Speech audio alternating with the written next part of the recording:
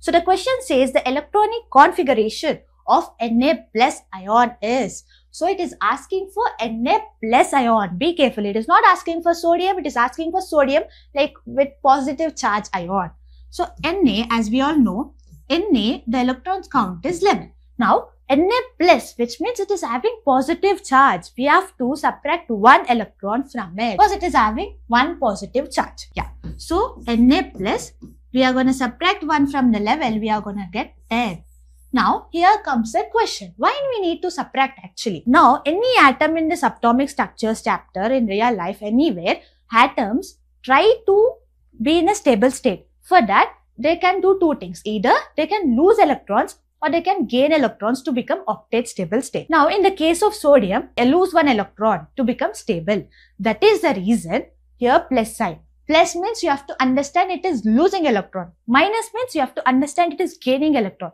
Depending upon the constant number, you are going to subtract or add. That is what the thing you have to do it here. So, for 10, we have to write the electronic configuration. As I told you the short, short trick, which is verification method. Sum of the orbital powers gives us the electrons count. So, let us sum the powers. 2 plus 2 plus 6 plus 1, which is 11. 2 plus 2 plus 6 plus 0, which is 10. 2 plus 2 plus 6 plus 2, which is 12. 2 plus 2 plus 6 plus 2 plus 1, which is 13. So, as I told you, sum of the powers of orbitals will give us the electrons count. Now, 10 is our count. So, this option is matching, except all are having different values. So, we are going to eliminate that. And one more thing I'm going to make sure that is this configuration till here it is correct.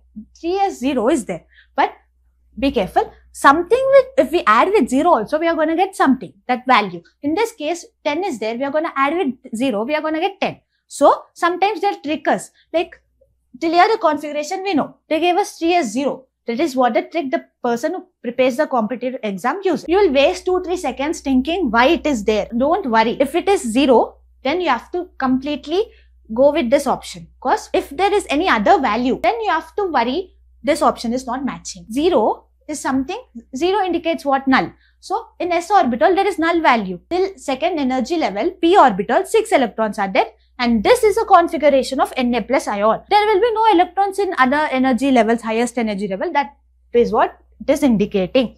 If you know this small little thing, then you're gonna do it faster.